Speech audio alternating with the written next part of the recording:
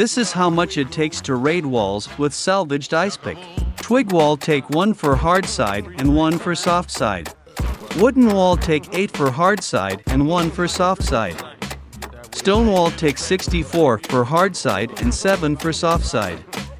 Metal wall take 298 for hard side and 30 for soft side. Armored wall take 596 for hard side and 59 for soft side. And their greet host in the description with 25% discount. Don't forget the like and subscribe for more videos.